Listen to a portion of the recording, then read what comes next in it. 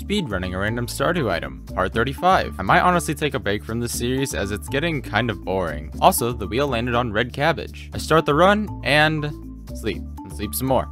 And finally, I sleep. This run is fun, I swear, guys. Finally, after sleeping until summer 1st, year 2, I go to Pierre's, buy a red cabbage seed, and finish the run with a time of 18 minutes and 50 seconds. But I could 100% do better. See, there's this things in the advanced options menu when you create a world called Guarantee Year 1 Completable. That makes it so at some point during the first year, you will get sold a red cabbage, making this the first ever run where I buy something from the traveling cart. So I start again, waking up and planting my parsnips and watering them until they are harvestable, where I wait until 9 a.m. to sell to Pierre's and then check the cart. Oh, and I also picked the option to have three separate cabins, making it easier to check the cart after I wake up. And on the 12th, I check the cart and lo and behold, my red cabbage. I buy it and end the run with a way better time of 7 minutes and 12 seconds. Like and follow for more Stardew Valley videos.